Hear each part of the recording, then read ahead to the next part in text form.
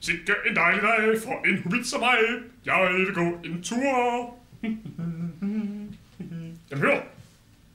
Gollum. Hej, det er jo Frodo. Goddag, Frodo.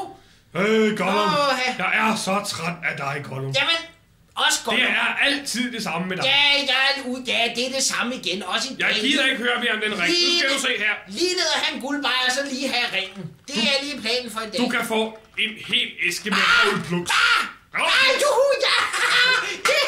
ja! Så vil jeg heller ikke høre mere.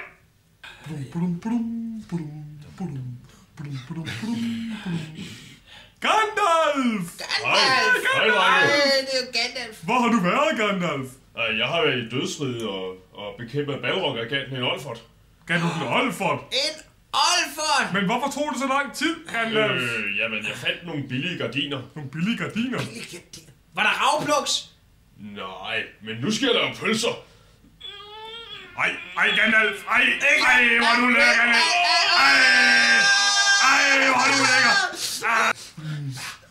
Vi nærmer os nu vulkanen, hvor vi kan ødelægge ravlpluksene for evigt. Det er godt, for Men jeg frygter, vi møder Shylop, vogteren, som der synges om i gamle sange. Haha!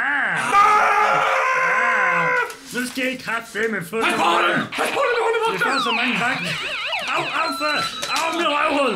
Au, for satan. Au, mit røvhul. Vi fik den! Vi fik den! Det var godt. Er det uhyggeligt? Shylop er død! Prøv rundt om det gjorde nas. Der er ikke mere pisaner Nej. Og Storlande Epos har nået en afslutning. Vi står nu foran mavegraven.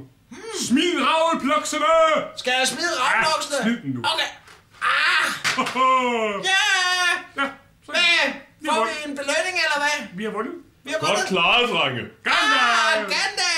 Det var fandme flot. Nu får I en medalje. Mange tak, mange tak. Gollum skal have medalje, Gollum skal have, og Gollum, Gollum, også Gollum, også Gollum. Nu skal vi knippe! Ja, knippe! Åh, jeg kan mærke din tryllestav, Gandalf! Jeg kan mærke din tryllestav!